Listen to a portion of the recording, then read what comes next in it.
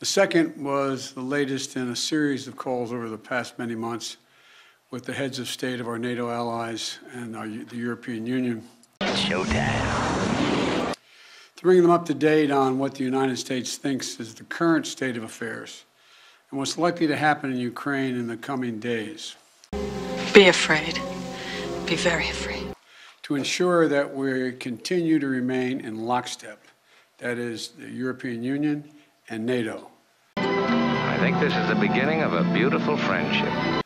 Despite Russia's efforts to divide us at home and abroad, I can affirm that has not happened. We're on a mission from God.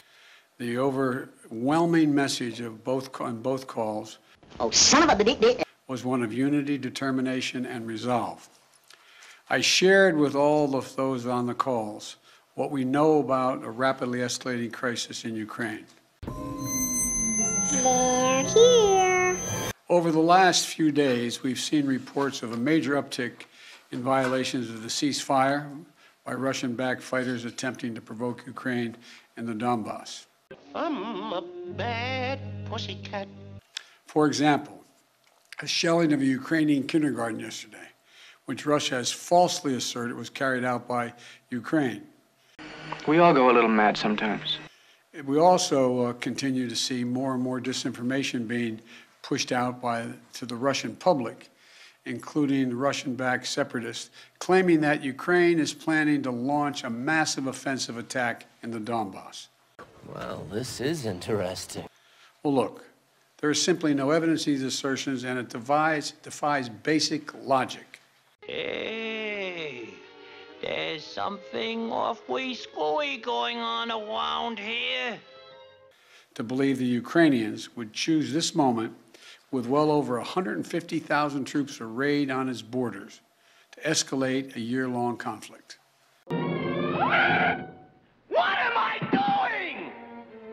Russia's state media also continues to make phony allegations of a genocide taking place in the Donbass. The boogeyman is real, and you found him. uh, And push fabricated claims warning about Ukraine's attack on Russia without any evidence. That's just what I'm sure Ukraine's thinking of doing, attacking Russia. I have had enough of you! All of these are consistent with the playbook the Russians have used before to set up a false justification to act against Ukraine. There can be only one. This is also in line with the pretext scenarios that the United States and our allies and partners have been warning about for weeks. Wolf! Wolf! Help! Help the wolf! Wolf! Help! Throughout these tense moments, the Ukrainian forces have shown great judgment and I might add restraint. They refused to allow the Russians to bait them into war. Maybe. Maybe not. Maybe fuck yourself. But the fact remains Russian troops currently have Ukraine surrounded from Belarus along the Russian border and with Ukraine to the Black Sea in the south and all of its border. Damn right you're scared. You know, look, we have reason to believe the Russian forces are planning to uh, and intend to attack Ukraine in the coming week. I'm looking into the future. wow, there it is. I see you really blowing up. in the coming days. We believe that they will target Ukraine's capital, Kiev, a city of 2.8 million innocent people. You know, yeah, you're right. Things could be a lot worse.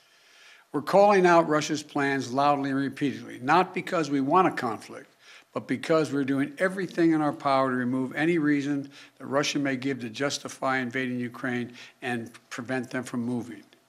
I don't give a tuppeny fuck about your moral conundrum, you meat-headed shitsack. Make no mistake, if Russia pursues its plans, it will be responsible for a ca- catastrophic Oh, son of a dick dick. and needless war of choice. The United States and our allies are prepared to defend every inch of NATO territory from any threat to our collective security as well. You die first, get it?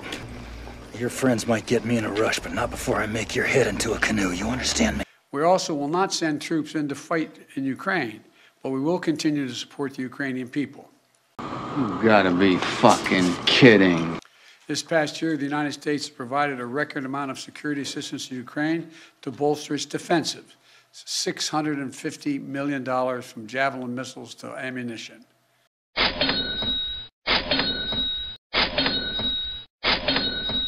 We also previously provided $500 million in, Ukraine, in humanitarian aid and economic support for Ukraine.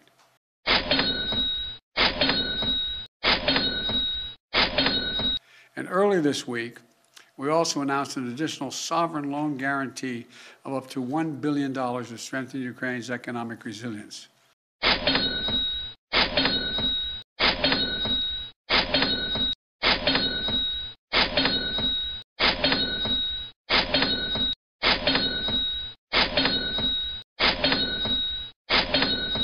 But the bottom line is this the United States and our allies and partners will support the Ukrainian people. We will hold Russia accountable for its actions. The West is united and resolved.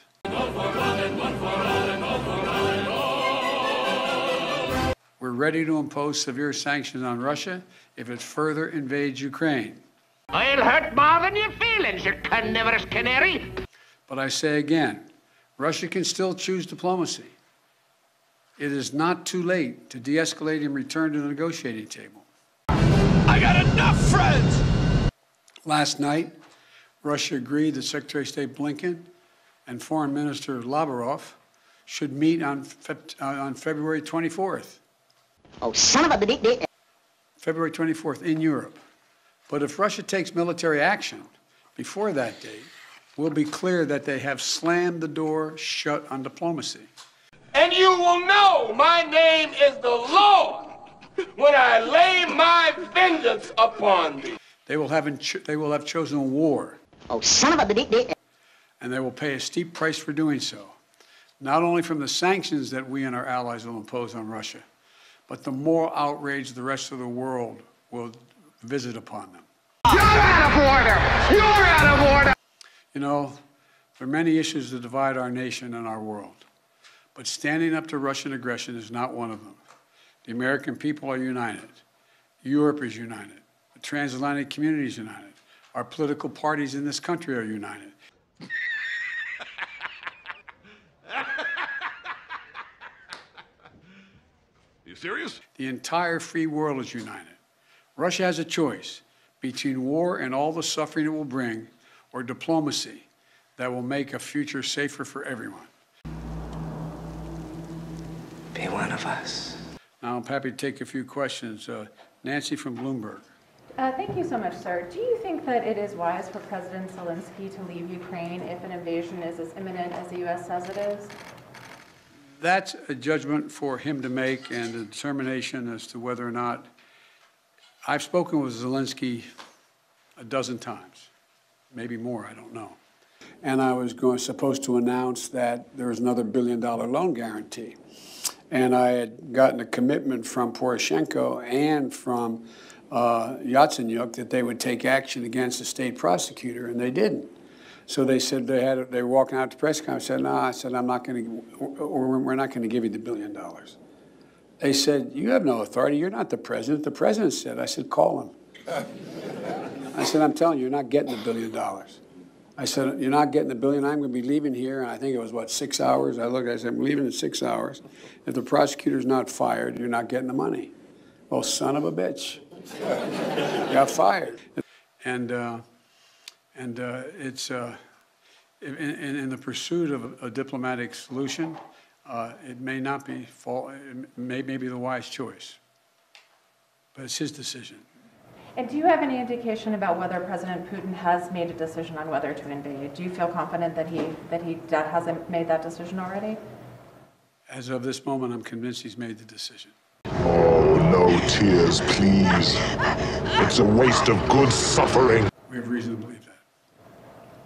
There seems to be a unanimity of spirit to do between the United States and Europe to do some sanctions, a comprehensive sanctions. But are, is everyone on board with the exact same sanctions that you want to do?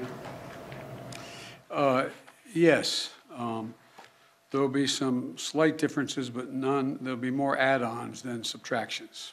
I'm going to bring the whole fucking diseased, corrupt temple down on your head. It's going to be biblical. President Putin is going to oversee some nuclear drills this weekend. How do you see that happening? What, what's your reaction to that, sir? Thank you. Well, um, I don't think he is remotely contemplating nuclear, using nuclear weapons. But I do think it's, uh, I think he is um, focused on trying to convince the world that he has. Uh, Oh, the tyrannical despot will soon know the name. Jim! Ignatowski! Right! Already it's spreading. the ability to change the dynamics uh, in Europe in a way that he cannot. Um, but I, I don't. Uh, how much of it is a, uh, a cover for just saying we're just doing exercises, and and there's more than that? I, I just can't. It's hard to read his mind. Mr. Mr. President, to be clear, to, Mr. President, to be clear, you, to be clear, you are convinced that, you are convinced that President Putin is going to invade Ukraine. Is that what you just said a few moments Yes, ago? I did. Yes. I am the devil, and I am here to do the devil's work. So is diplomacy off the table then? No. There's all until he does. Diplomacy is always a possibility. I went to four straight puppy bowls. That's, that's not possible. You're not a puppy after your first birthday. Dude, I'm little. Got a baby face. What reason do you have to believe he's considering that option at all? We have a significant intelligence capability. Thank you very Thank much. you, guys. Oh, son of a bit, uh, son of a bit, son of a bit, bit, uh, gun. you thought I was going to say uh, uh, son of a bitch, didn't you?